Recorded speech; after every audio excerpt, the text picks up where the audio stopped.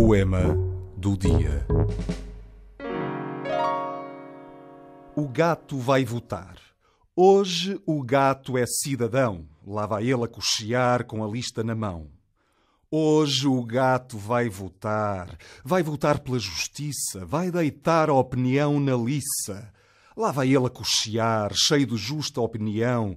Lá vai ele a arrastar com a cauda pelo chão. De repente, ouve ladrar e retrocede apressado, sumindo a lista no chão.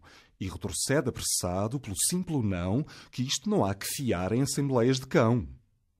Mal refeito do susto, vai compondo esta canção. Era uma vez um gato português, não dizia sim, nem não, nem talvez. Era uma vez um gato português, bebia cerveja, jogava xadrez. Era uma vez um gato português, bebia por dois, dormia por três. Era uma vez um gato português, nem soube o porquê, nem soube o que fez.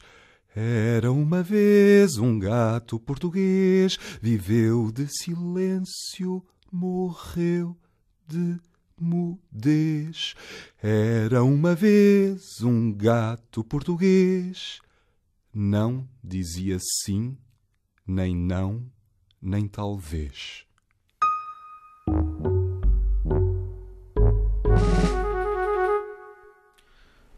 Este poema faz-me lembrar um, um bocado a nossa sociedade que reclama dos políticos que não sabem fazer o que fazem e na altura quando vão ser chamados à sua responsabilidade de votar um, retraem-se, não vão votar, preferem ir à praia, preferem um bom, bom tempo e não um, colocam a sua opinião sobre o estado do país.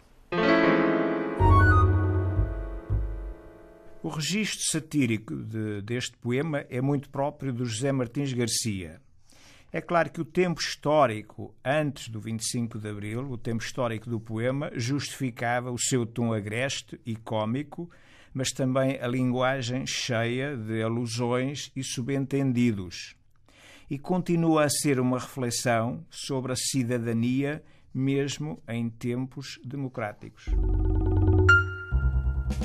Gato e Leitor, de José Martins Garcia, dito por Nelson Cabral, e comentários de Paulo Medeiros e Urbano Petencourt. Poema do Dia é uma rubrica da Associação Cultural Déspede que Suas, em coprodução com a Antena 1 Açores, com o apoio da Direção Regional da Cultura do Governo dos Açores.